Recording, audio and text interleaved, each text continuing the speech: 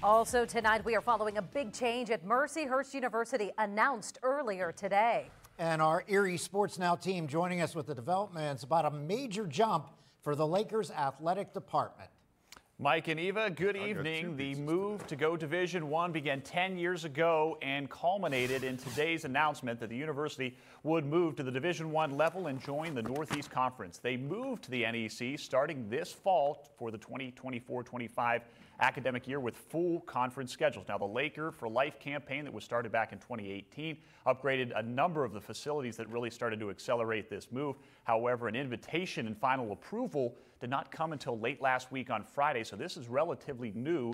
So what does this mean for Mercyhurst University? While all programs move to Division One level, hockey will remain in its current state as they were already Division One and remain with their respective conference. Wrestling is expected to join a new conference. Two other sports will become associate members in other conferences. All other programs head to the NEC. Mercyhurst will not be eligible for the NCAA championships for the first four seasons. They are also not eligible for conference titles for one, possibly two years. That, according to Director of Athletics Joe Spano. But after visits from the NEC committee, no major facility upgrades are necessary moving forward at this point, and a major move that requires a lot of financial backing, but a big day and a historic one for Mercyhurst University.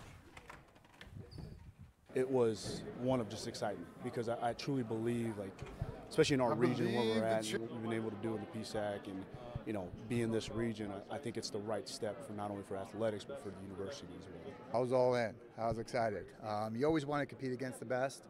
Um, I think we've earned it over the years. I think a lot of sports here, and I think it, the other thing is it's just really good for the school. It's really good for the community. Can you imagine, you know, bringing in the types of teams that we're going to bring in in all 18 sports um, or 23 sports? It's, it's going to be it's going to be a fun time and exciting time. I can't wait to get started.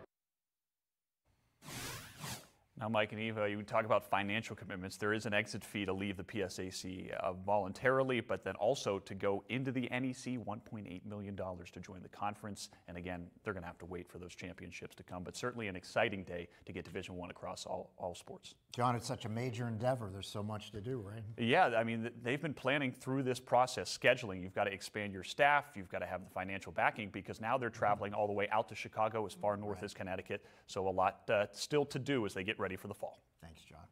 We appreciate that, John. Thanks so much. Our coverage with the big news does not